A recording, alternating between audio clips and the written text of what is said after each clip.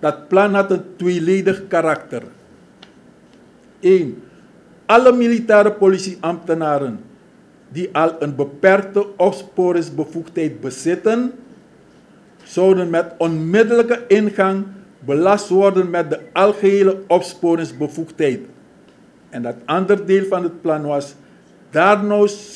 daarnaast zou, aan alle militairen, later werd een nuance aangebracht door mijzelf, militairen vanaf de rang van onderofficieren tot de rang van tweede luitenant na een korte gerichte opleiding in verband met hun opsporingsactiviteiten ook de algehele opsporingsbevoegdheid zouden worden toegekend.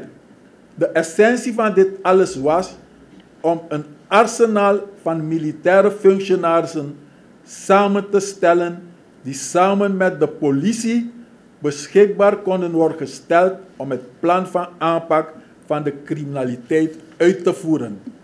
Dat was de achtergrond van dit voorstel. En dat werd uitvoerig aan de tafel bij de president toegelicht, waarbij de minister van Defensie ook aan zat. Nu komt dat technisch deel waarvan men gebruik heeft gemaakt om dit plan te torpederen. De formele voorbereiding was al technisch door mij klaargemaakt in de vorm van een staatsbesluit, waarbij de minister van Defensie zich volledig daarin kon terugvinden. De missieve was ook al geslagen. U weet, een missieve is stuk waarbij de goedkeuring van de Raad van Ministers is vervat. Tijdens de bespreking met de president kwamen van de zijde van de veiligheidsmensen, met name de heer Linskeer en de directeur van het Bureau Nationale Veiligheid, mevrouw meester Veira, en de procureur-generaal bijzonder veel bezwaren tegen dit plan. En deze bezwaren waren gebaseerd op benadering dat hiervoor de wet zou moeten worden gewijzigd. Nu is het wet, wetstechnisch ook zo dat het mogelijk is bij zeer dringende omstandigheden vooruitlopend op de totstandkoming van de wet bij een lager besluit, dus in dit geval gaat het om wet en staatsbesluit, bij een lager besluit alvast de maatregelen te treffen. Gelet op de urgentie van het bestrijden van de criminaliteit, kon niemand bezwaar daartegen hebben. Terwijl het ook technisch mogelijk is volgens wetstechnische benadering. En je zou denken dat niemand bezwaar daartegen zou kunnen hebben. In ieder geval werd het plan terzijde geschoven. Ik wil niet zeggen van tafel geveegd. Want zo enthousiast was men om het de grond in te boren. Maar het plan werd terzijde geschoven en daarvoor kwam in de plaats de zogenaamde Octopus-operatie. Die operatie, heb ik begrepen, is daarvoor een bedrag van 750.000 US dollar, Amerikaanse dollar dus, vrijgemaakt. Dit plan en dit alles heeft buiten het zicht van de minister van Justitie en Politie plaatsgevonden. En wel in overleg met de korpschef is een octopus-operatie aangevangen. Dus de korpschef wist meer dan de minister over dit plan. En aan mij is nooit iets bijzonders gerapporteerd dan een aantal verhalen. Wanneer wij vandaag aan de dag in het bericht van de VAP lezen dat de vraag wordt gesteld of de operatie Octopus nog bestaat, dan weet de minister van Justitie daarvoor over niets en heeft ook nooit bemoeienis daarmee gehad. Omdat de veiligheidsadviseur van de president, de heer Linsker, nauwe contacten onderhoudt met Santoki en allerhande zaken met hem bespreekt, waardoor Santoki goed op de hoogte is van het reilen en zeilen van de plannen van de minister van Justitie en Politie. En omdat hij ook binnen het Korps Politie Suriname tentakels heeft, kan hij om politieke redenen informatie misbruiken. En dat doet hij ook. U heeft zelf gehoord de leugenachtige beweringen ten aanzien van het ministerie.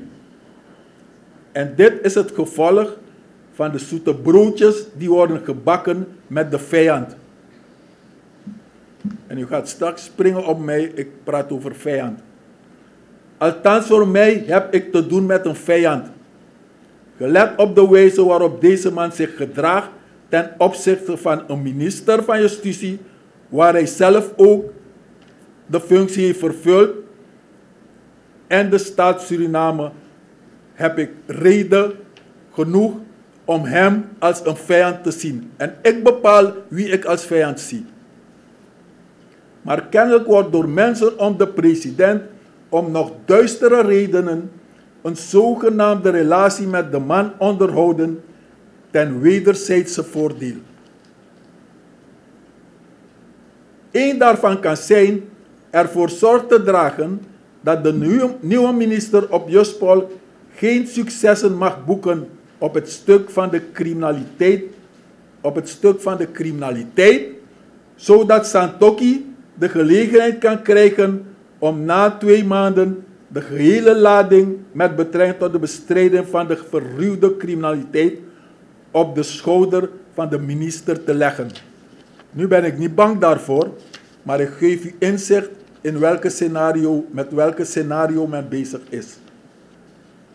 Het blijft een gevaarlijk spel, want binnen de operatie Octopus, waar de minister geen greep op heeft, kan men zelf bepalen hoe actief in de uitvoering wordt gegaan.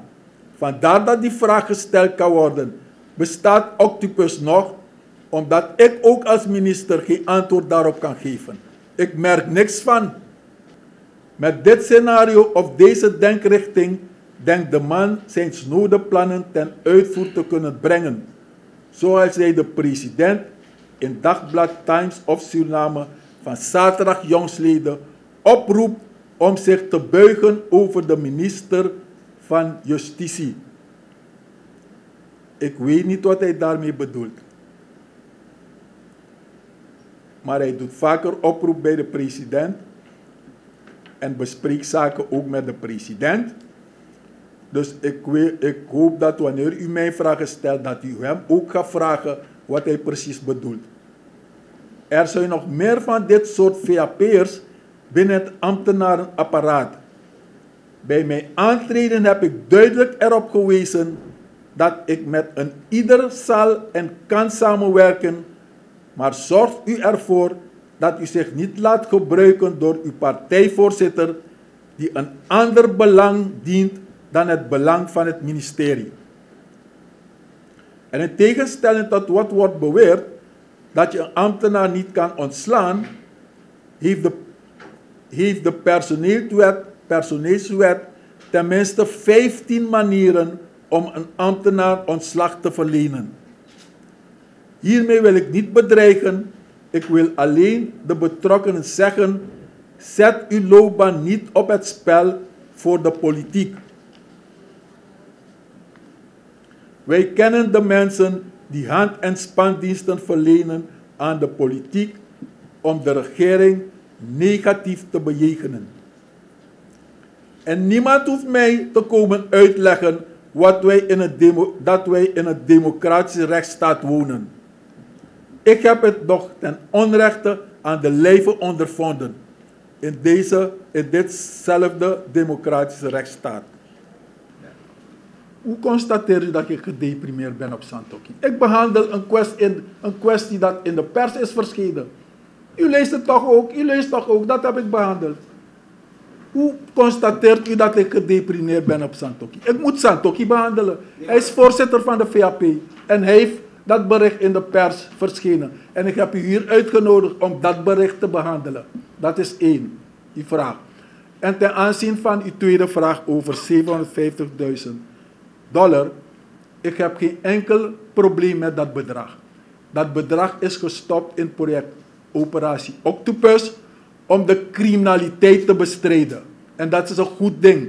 De criminaliteit is verruwd. Er is geld voor nodig om dat te bestrijden. We zitten niet in die gunstige situatie wat meneer Santoki had in 2005, 2010. Waar er miljoenen euro ter beschikking was gesteld uit onze ontwikkelingshulp. Dat moet u weten, het is ons geld. En dat is gegeven aan de minister van VAP Santoki om zijn gang mee te gaan.